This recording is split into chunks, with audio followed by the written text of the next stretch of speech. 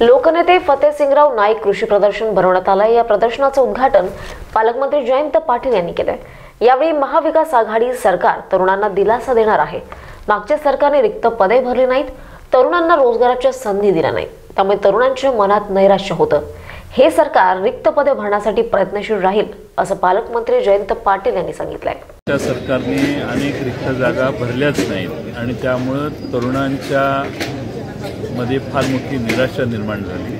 आता ह्या रिक्त जागांचा आढावा घेऊन हळूहळू आता ही रिक्त जागा भरण्याचं धोरण आमच्या नव्या सरकारचं आहे. महाराष्ट्रातल्या तरुणांना पोलीस भरती असेल शासकीय वेगवेगळी पदं असतील या रिक्त जागा आरोग्याच्या विभागात फार मोठ्या रिक्त जागा मागच्या सरकारने ठेवली त्या भरण्याचं काम आता आम्ही हळूहळू टप्प्याटप्प्याने हातात घेणार आहोत. आणि महाराष्ट्रातल्या तरुणांच्यासाठी जे फार अपेक्षेने एम पी एस सीच्या सेवेमध्ये एम पी एस सी परीक्षा देतात.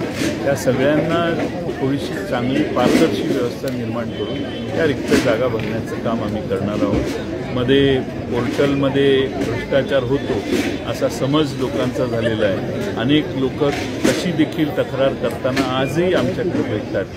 त्या सगळ्यांचं निराकरण करून रिक्त जागा भरण्याचं काम आम्ही लवकरात लवकर करणार आहोत. Raju Thorat star Maharashtra news Tasgaon Sangli.